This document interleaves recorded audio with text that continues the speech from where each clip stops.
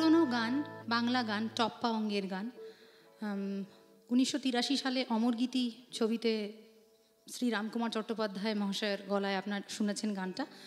যেহেতু গানটা কাফি রাগের উপরে আছে, তো সেই টপ্পা তার সাথে একটা ছোট বন্দেশ, আমার প্রথম নিবেদন। সাজারে রে গা গা মা পা, সাজারে রে গা